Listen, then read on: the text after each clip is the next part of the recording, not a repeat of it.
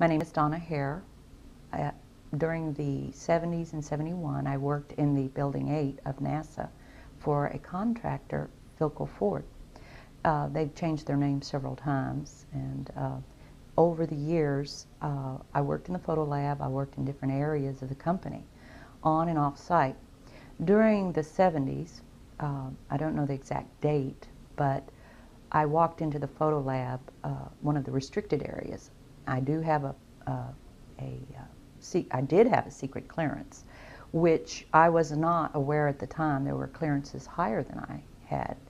Uh, because those clearances are supposed to be kept secret that you have them. So I didn't know. I thought I had the top clearance.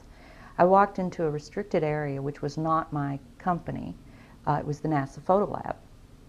And there they, they put they developed the film from the moon and uh, satellite pictures, everything that's done by NASA.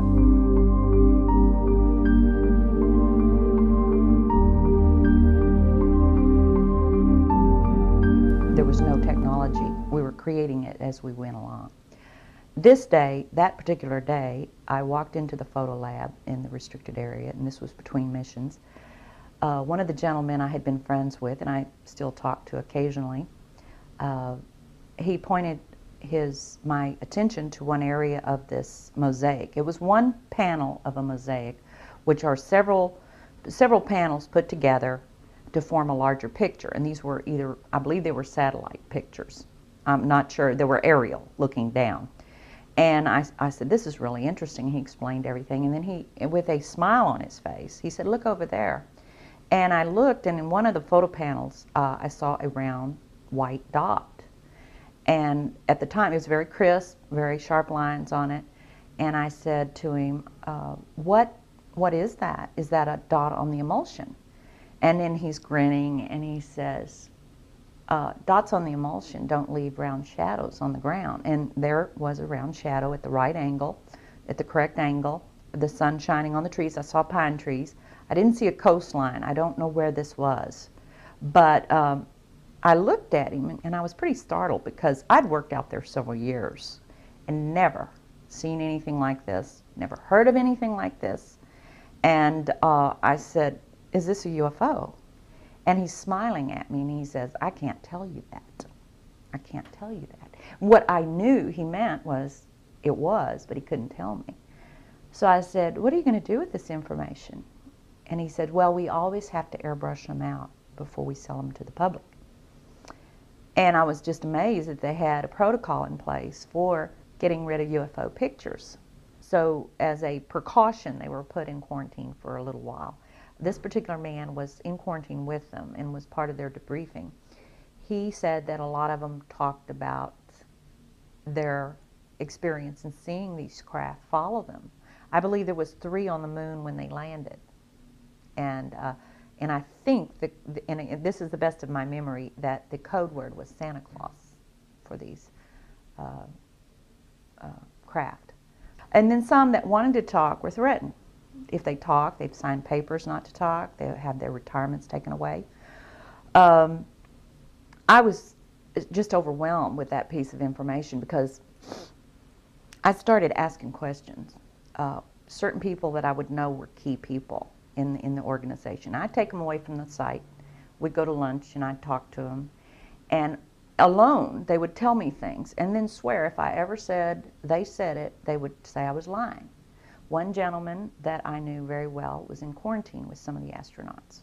He said just about every one of them has seen things when they went to the moon that were, and in fact, one said that they were there. Craft were on the moon at that time. And this man has disappeared off the face of the earth. I've tried to find him, but I have his name. I've given to Dr. Greer. I'm sure he can find him. But um, a lot of the astronauts are told to keep it quiet, and they're good Americans too. I mean, it's, it comes under the guise of national security.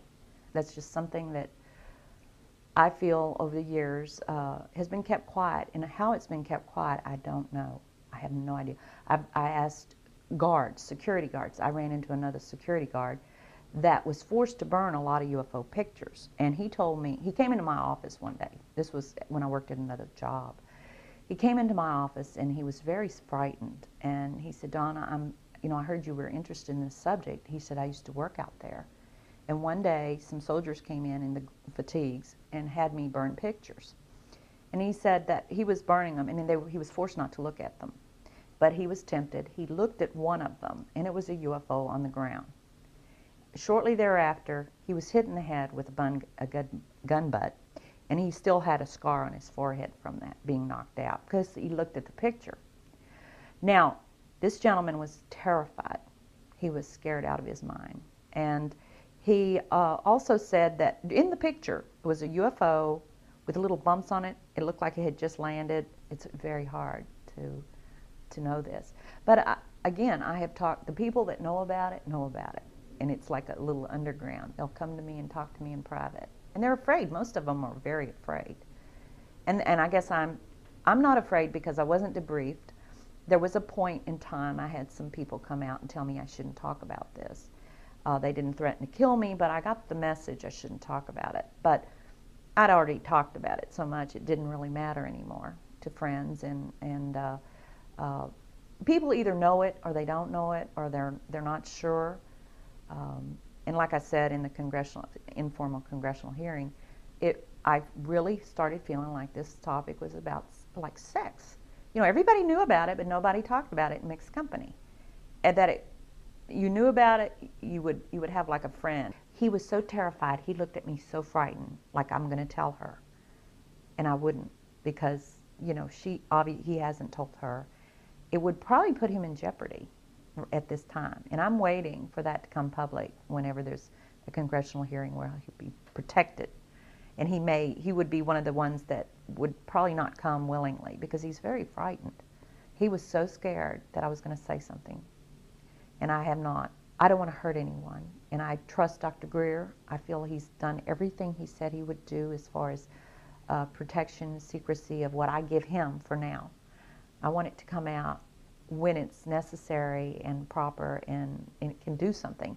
I don't want people that are trying to go around cleaning up their mess and getting rid of these people or hurting them or, or challenging them or, or making them so frightened they move away like this one particular man I know of that has just disappeared off the face of the earth. He has disappeared. I just don't want that. You know, I don't, I don't want them to, you know, a lot of people have asked me, well, what senators were at this congressional hearing? Which, which witnesses do you know and what are names, names? And I don't give that out in public. Greer has them locked up some of our, it was very critical that we do this perfectly. We had also simulations before the mission that uh, would generate what they expected the craft to do. The lights would, on the 10 by 20 foot screen in the control center, they would have these projected up there, and a light would go off uh, going the pathway of the different. This is really one continual line, but it's done on different scales that we had to do uh, the light would continue on, and if the light varied, which represented real-time information coming back from the spacecraft, one of the things that I'm upset about is that good people are forced to do illegal things. And I believe that this information should be given to the American public. That's just something that I feel over the years uh, has been kept quiet.